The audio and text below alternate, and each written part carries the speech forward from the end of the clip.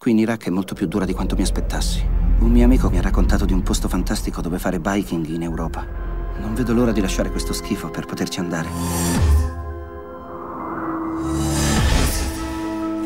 A presto, figlia di puttana.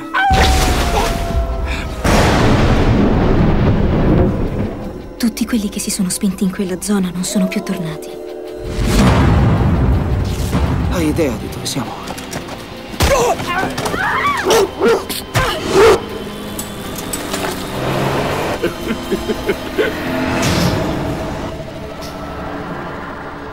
Está arrivato qualcuno.